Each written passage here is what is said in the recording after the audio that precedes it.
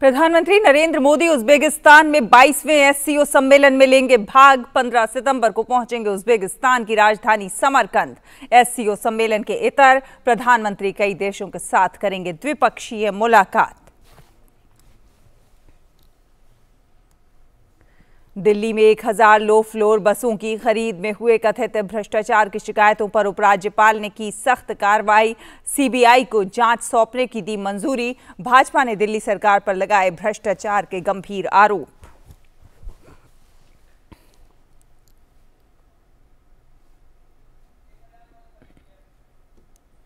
केंद्रीय गृह एवं सहकारिता मंत्री अमित शाह गुजरात दौरे पर अमरेली में सहकारी संस्थानों की वार्षिक आम बैठक को किया संबोधित, सोमनाथ मंदिर में की पूजा अर्चना।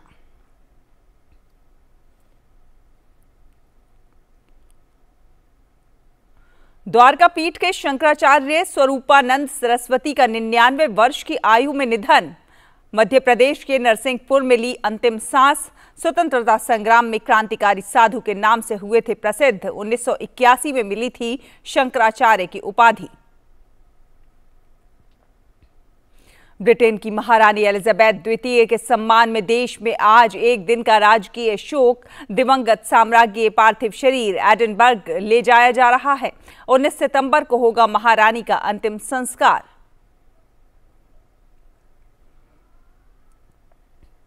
यूएस ओपन 2022 के पुरुष एकल के खिताबी मुकाबले में आज स्पेन के कार्लोस एलेक्राज और नॉर्वे के कैस्पर रूड होंगे आमने सामने। विश्व की नंबर एक इगा स्वांतेक ने महिला एकल का खिताब जीता। एशिया कप के फाइनल मुकाबले में आज दुबई में पाकिस्तान के सामने श्रीलंका की चुनौती। पाकिस्तान की नज़र तीसरी बार ट्रॉफी उठाने पर तो श्रीलंका छठी बार खिताब जीतने के इरादे के साथ मैदान पर।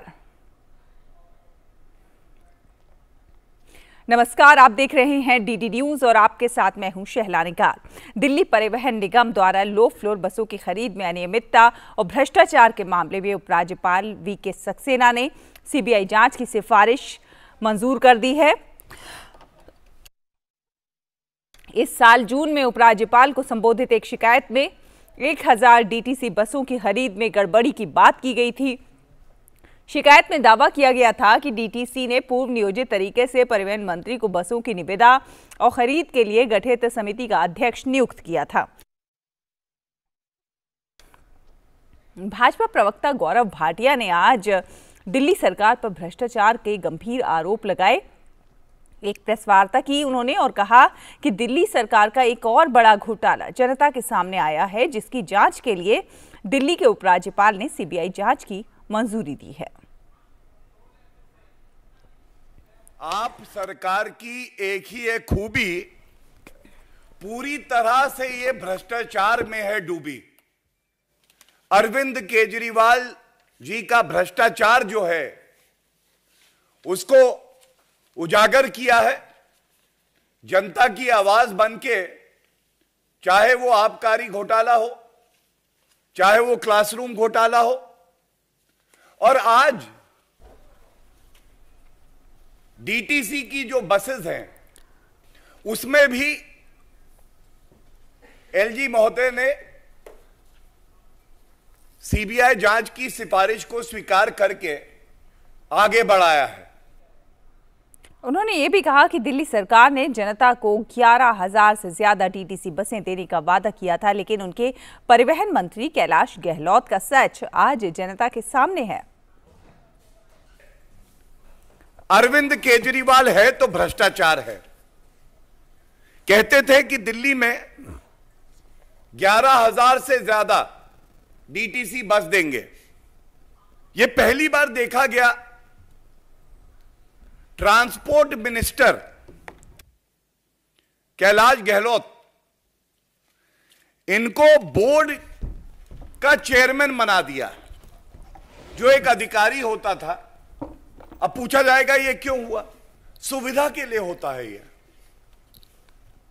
अगर अरविंद केजरीवाल का मंत्री रहेगा तो कानून को ताक पे रखते हुए, जैसा अरविंद केजरीवाल बताएँगे, वैसी ही शर्तें रखी जाएँगी निविदा में। वही व्यक्ति का चयन होगा, उसके बाद वसूली होगी रुपया घूम के अरविंद केजरीवाल की तिजोरी में आ जाएगा। और दिल्ली भाजपा अध्यक्ष आदेश गुप्ता ने आज दिल्ली के मुख्यमंत्री अरविंद केजरीवाल पर भ्रष्टाचार का आरोप लगाते हुए कहा कि आप और केजरीवाल का रोज कोई ना कोई सच जनता के सामने आता है और इसी कड़ी में अब डीटीसी का घोटाला जनता के सामने है।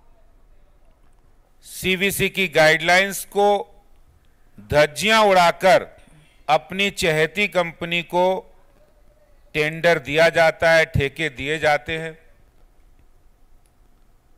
उसमें जो हज़ारों करोड़ों रुपए का भ्रष्टाचार किया है, उससे ये बिल्कुल साफ़ लग रहा है कि अरविंद केजरीवाल सीवीसी नहीं मानते हैं। उनका एक ही काम करने का तरीका उनके लिए सीवीसी गाइडलाइन नहीं है, उनके लिए है डीसीसी डायरेक्ट कैश कलेक्शन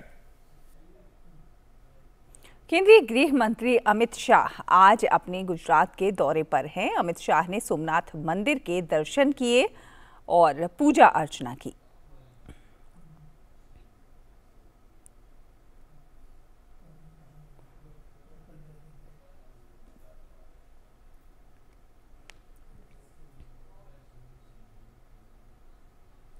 इससे पहले गृह मंत्री ने गुजरात के अमरेली ज़िले की प्रमुख सहकारी समितियों की वार्षिक जनरल बैठक में शिरकत की।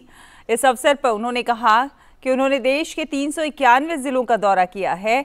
उन्होंने कहा कि अमरेली ज़िले ने राज्य को कई सहकारी नेता दिए हैं। इन नेताओं ने राज्य के साथ साथ देश के सहकारी ढांचे को मज़बूत किया है। प्रधानमंत्री नरेंद्र मोदी की सहकारिता में मज़बूत पहल, उन्होंने कहा कि प्रधानमंत्री ने किसानों को समृद्ध बनाने का प्रयास किया है। सूचना एवं प्रसारण मंत्री अनुराग ठाकुर आज से तीन दिनों के महाराष्ट्र के दौरे पर हैं। मुंबई से सटे डोंबिवली में आज पार्टी कार्यकर्ताओं ने उनका जोरदार स्वागत किया।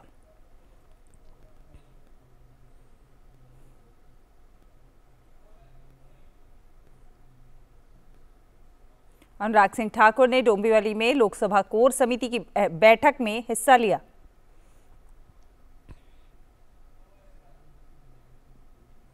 इसके बाद केंद्रीय मंत्री अनुराग ठाकुर, भारतीय जनता पार्टी के जिला पदाधिकारी, प्रकोष्ठ संयोजक एवं मोर्चे के अन्य पदाधिकारियों के एवं अधिकारियों के साथ उन्होंने बैठक की। दोपहर में वो विभिन्न सरकारी योजनाओं के लाभार्थियों से संवाद करेंगे। साथ ही साथ एक प्रेस वार्ता को भी वो इसके बाद संबोधित करेंगे। और अब अगली खबर। प्रवर्तन निदेशालय ने पश्चिम बंगाल के कोलकाता में मोबाइल गेमिंग एप्लीकेशन के नाम पर लोगों से ठगी करने के आरोपी आमिर खान के यहाँ छापेमारी करके 17 करोड़ रुपए से ज़्यादा की रकम बरामद की है। शनिवार को मोबाइल गेमिंग ऐप कंपनी के प्रोमोटर्स के छह ठिकानों पर यह छापेमारी हुई। छापेमारी की कार्रवाई मनी लॉन्ड्रिंग एक्ट के तहत की गई। ईडी ने एक फ़ोटो भी जारी किया है। फ़ोटो में 2000 500 और 200 रुपए के नोटों के बंडल दिखाई दे रहे हैं। ईडी की कार्रवाई, mobile gaming app company E nuggets और उसके प्रोमोटर आमिर खान और अन्य के ठिकानों पर की गई। ईडी ने बताया कि फेडरल बैंक ने सबसे पहले कंपनी के खिलाफ कोलकाता की एक अदालत में शिकायत की थी। इसके बाद फरवरी 2021 में कोलकाता पुलिस ने कंपनी और इसके प्रोमोटर्स के खिलाफ प्राथमिकी दर्ज की। ईडी ने बताया कि आमिर खान के mobile gaming app E nuggets लोगों के साथ धोखाधड़ी करने के लिए लॉन्च किया गया था। शुरुआत में कंपनी ने यूज़र्स को कमीशन दिया। लोगों के वॉलेट्स में आया पैसा भी आसानी से निकला। इससे लोगों में कंपनी के प्रति भरोसा बढ़ता चला गया और लोग ज़्यादा कमीशन के लिए बड़ी बड़ी रकम लगाने लग गए। जब लोगों से बड़ी रकम कंपनी को मिल गई तो इस ऐप से पैसों की निकासी अचानक रोक दी गई। इसके पीछे एक ही तर्क दिया गया कि सिस्टम अपग्रेडेशन और सरकारी एजेंसियों की जाँच के कारण निकासी रोकी गई है। इसके बाद ऐप सर्वर से सारा डेटा हटा दिया गया। इसमें प्रोफ़ाइल इन्फॉर्मेशन भी शामिल हैं। इसके बाद यूज़र्स को ये धोखाधड़ी समझ में आई। और प्रधानमंत्री नरेंद्र मोदी 17 सितंबर को कूनो नेशनल पार्क में चीता पुनर्वास परियोजना का शुभारंभ करेंगे। यहाँ पर नामीबिया से लाए गए आठ चीतों को लाया जाएगा, जिन्हें 30 दिन के लिए एक विशेष बाड़े में 30 दिनों के लिए क्वारंटाइन में रखा जाएगा। कैसी हैं तैयारियाँ? देखिए हमारे संवाददाता नीरज सिंह की ये रिपोर्ट। कूनो नेशनल पार्क का यही वो इलाका है जहाँ पर साउथ अफ्रीका और नामीबिया से जो चीते आएँगे, वो इसी इलाके में छोड़े जाएँगे। और यहाँ पर अगर आप देखें तो यहाँ फेंसिंग की गई है और ये 12 किलोमीटर का इलाका है जहाँ पर उन चीतों को छोड़ा जाएगा। यहाँ पे अगर मेरे कैमरामैन आपको दिखाएँगे तो ये पूरा पूरा जंगल है। सबसे पहले जब चीता यहाँ पर पहुँचेगा तो इसी इलाके में उसको रखा जाएगा। और इसके साथ ही अगर ये देखें तो ये मार्बल ग्रास है। ये यहाँ पर स्पेशली लगाई गई है क्योंकि इसी तरह की जो घास है, वो अफ्रीका और नामीबिया में पाई जाती है ताकि उनको एक ऐसा माहौल दिया जा सके कि उनको लगे कि वो अपने ही घर में हैं और इसके लिए इस पूरे इलाके को कवर किया गया है। सबसे पहले इसी जगह पर उन चीतों को छोड़ा जाएगा और उसके बाद जब यहाँ पर जो चीते हैं, वो थोड़े से वातावरण के साथ ढल जाएँगे, उसके बाद कूनो नेशनल पार्क के जो जंगल हैं, जो मेरे पीछे आपको दिखाई दे रहे हैं, उन जंगलों में, उन चीतों को छोड़ा जाएगा। और ये पहली बार है कि भारत में जो चीते थे, वो विलुप्त हो गए और उसके बाद उन चीतों को यहाँ पर लाया जाएगा और इसी जंगल में उन साउथ अफ्रीका और नामीबिया से जो चीते आएँगे, उनको छोड़ा जाएगा। कैमरामैन संजय जैना के साथ Neeraj Singh, DD news, Kuno national park, Madhya Pradesh. और कूनो नेशनल पार्क पहुँचे केंद्रीय वन और पर्यावरण मंत्री भूपेंद्र यादव ने कहा कि लंबे इंतज़ार के बाद भारत में चीतों की वापसी हो रही है। नामीबिया से आ रहे चीतों को लेकर लोगों में भी उत्साह दिखाई दे रहा है। ये दुनिया में अपना एक पहला तरह का प्रोजेक्ट है जिसमें वाइल्ड चीता को हम वापस से री इंट्रोड्यूस कर रहे हैं।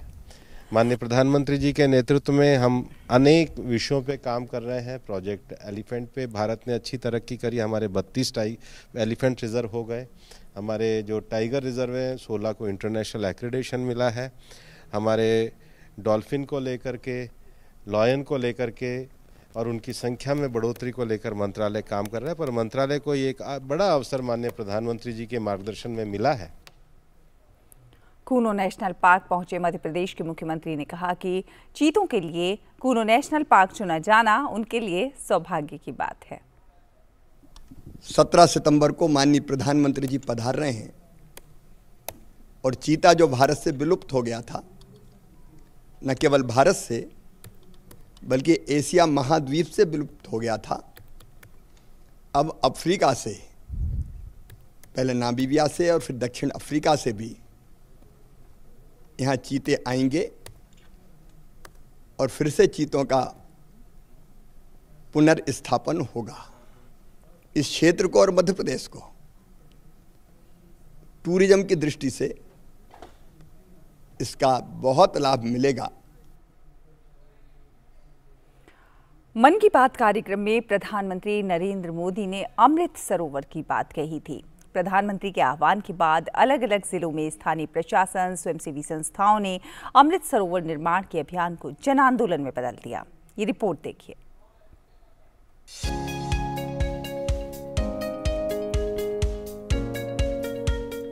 पीएम की एक अपील ने अमृत सरोवर निर्माण के अभियान को जन आंदोलन में बदल दिया। प्रधानमंत्री नरेंद्र मोदी ने मन की बात कार्यक्रम में अमृत सरोवर बनाने की जनता से अपील की थी। देश की स्वयंसेवी संस्थाएँ, प्रशासन, प्रधानमंत्री के संकल्प को पूरा करने में जुट गई बानगी है तेलंगाना के वारंगल की नई ग्राम पंचायत मंगतिया वालिया थांडा। यह पंचायत वन क्षेत्र के करीब है। इन इलाकों में मानसून के वक्त काफ़ी पानी जमा होता था। नजीर है कि स्थानीय निवासियों ने इसे अमृत सरोवर में बदल दिया, जिसमें लबालब पानी है। चार महीने पहले मैंने अमृत सरोवर की बात की थी। उसके बाद अलग अलग जिलों में स्थानीय प्रशासन जुटा, स्वयंसेवी संस्थाएँ जुटी और स्थानीय लोग जुटे। देखते ही देखते अमृत सरोवर का निर्माण एक जन आंदोलन बन गया है। नजीर मध्य प्रदेश के मंडला के मोचा ग्राम पंचायत में भी पेश हुई है जहाँ कान्हा राष्ट्रीय उद्यान के पास बने अमृत सरोवर ने इलाके की सुंदरता बदल दी।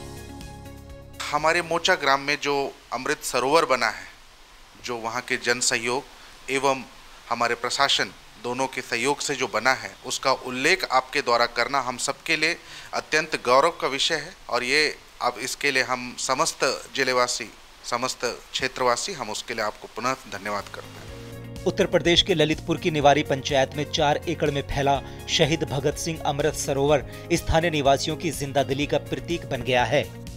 हमारे एक छोटे से गाँव का नाम जो देश में रोशन किया है प्रधानमंत्री जी ने और हमें बहुत अच्छा लगा और हम लोगों को रोज़गार भी मिला है इस काम के दौरान और हमारी बहुत सी महिलाएँ पचास साठ महिलाएँ और ग्रामवासियों ने सारे ने काम किया है। अमृत सरोवर की इस मुहिम में कर्नाटक भी पीछे नहीं रहा। राज्य के बागलकोट ज़िले के बिलकेरू गाँव में स्थानीय लोगों ने पहाड़ों से निकलने वाले पानी से सरोवर की बुनियाद रख दी। ये अमृत सरोवर हमारे यहाँ पहाड़ों से निकलने वाले पानी से फ़सलों को काफ़ी नुकसान होता था। अमृत सरोवर के निर्माण से स्थिति अब बदल गई है।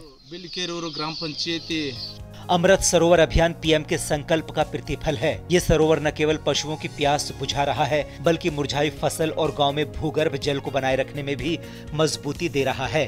धीरज कुमार की रिपोर्ट डी न्यूज़। और शंकराचार्य स्वरूपानंद सरस्वती का निधन हो गया है। मध्य प्रदेश के नरसिंहपुर में उन्होंने अपने आश्रम में आखिरी सांस ली। हाल ही में उन्होंने निन्यानवेवा जन्मदिन मनाया था। स्वामी स्वरूपानंद सरस्वती दो पीठों के शंकराचार्य थे। बद्रिकाश्रम और द्वारका पीठ की ज़िम्मेदारी उनके पास थी। उन्होंने उन्नीस सौ इक्यासी में शंकराचार्य की उपाधि मिली थी उनको। शंकराचार्य स्वामी स्वरूपानंद सरस्वती लंबे समय से अस्वस्थ चल रहे थे। कल आश्रम में ही उन्हें समाधि दिलाई जाएगी। और आपको बता दें कि आज रात 9 बजे आप देखना ना भूलिएगा, दूरदर्शन पर धारावाहिक स्वराज में शिवाजी महाराज के पराक्रम से भरी हुई कहानी।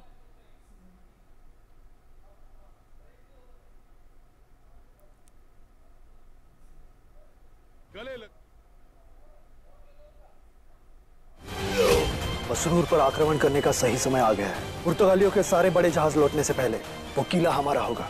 ये तो शिवाजी है। इनका संहार करना ही होगा। अपनी मातृभूमि के लिए। स्वराज के लिए।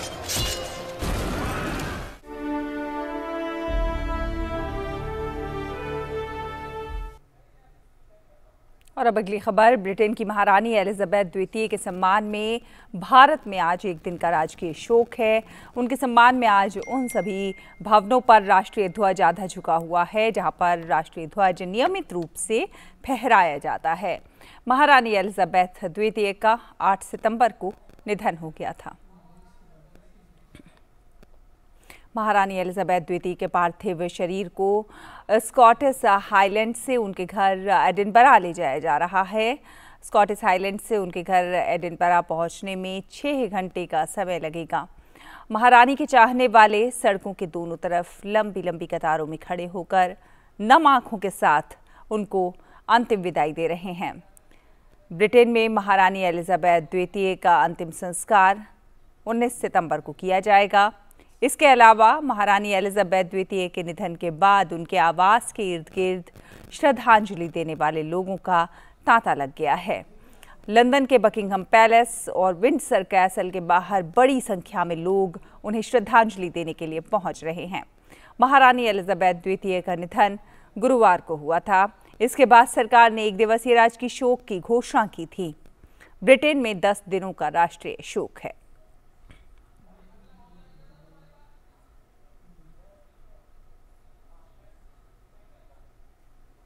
और प्रधानमंत्री नरेंद्र मोदी ने ब्रिटेन की नई प्रधानमंत्री लिज ट्रस से फ़ोन पर बात की। प्रधानमंत्री मोदी ने लिज ट्रस को प्रधानमंत्री का पदभार संभालने पर उन्हें बधाई दी। पीएम मोदी ने व्यापार और विदेश मंत्री के रूप में अपनी पिछली भूमिकाओं में रहते हुए लिज ट्रस के भारत ब्रिटेन द्विपक्षीय संबंधों में योगदान की सराहना की।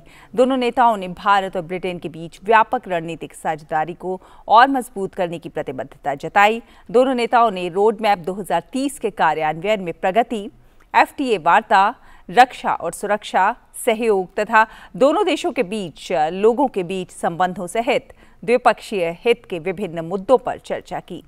प्रधानमंत्री नरेंद्र मोदी ने भारत के लोगों की ओर से महारानी एलिजाबेथ द्वितीय के निधन पर शाही परिवार और ब्रिटेन के लोगों के प्रति गहरी संवेदना व्यक्त की। और अब अगली खबर रूसी कब्जे से कई अहम क्षेत्रों को छुड़ाकर वापस लेने के बाद यूक्रेन के विदेश मंत्री दिमित्रो कुलेबा ने दावा किया है कि कीव रूसी सेना को युद्ध में हरा सकता है।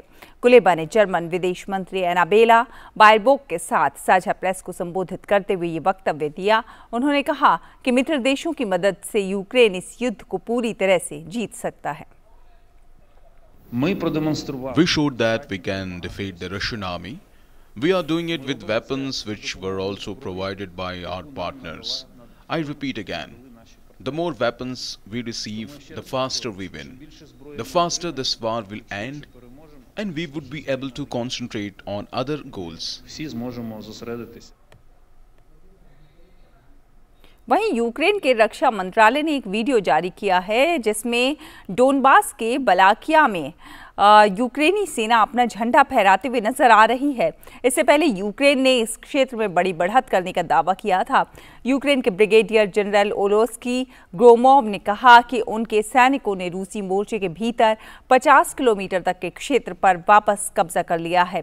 यही नहीं, खारकीव क्षेत्र में 20 गाँव भी वापस यूक्रेन के कब्जे में आ गए हैं। और अमेरिका में 9-11 आतंकी हमले की आज 21वीं बरसी है। साल 2001 में आज ही के दिन अमेरिका आतंकी हमलों से दहल उठा था। इस आतंकी हमले में तीन हज़ार लोगों की मौत हो गई थी। आतंकी संगठन अलकायदा ने अमेरिका में एक के बाद एक चंद मिनटों में चार ठिकानों पर हमले किए थे। इन हमलों को विमान हाईजैक के ज़रिए अंजाम दिया गया था। वर्ल्ड ट्रेड सेंटर और अमेरिकी रक्षा मंत्रालय पेंटागन पर जैसे ही विमान टकराया पल भर में ये इमारत राख के ढेर में तब्दील हो गई। इस दर्दनाक हमले के पीछे ओसामा बिन लादेन का हाथ था।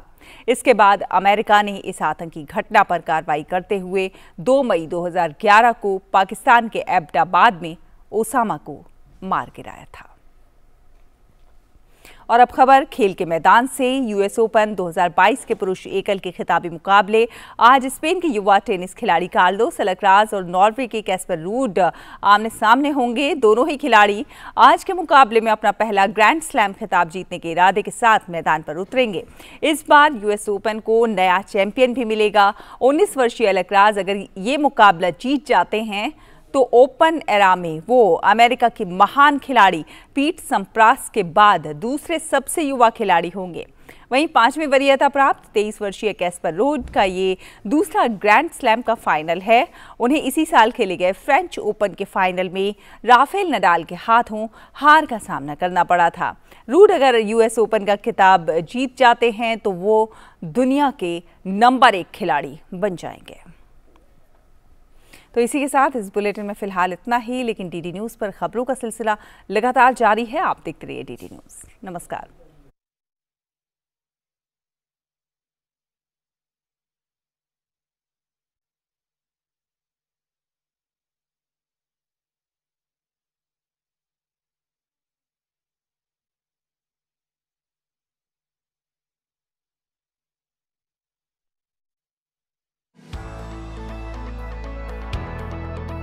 क्या आप अपनी स्टार्टअप को तेज़ी से ग्रो करना चाहते हैं?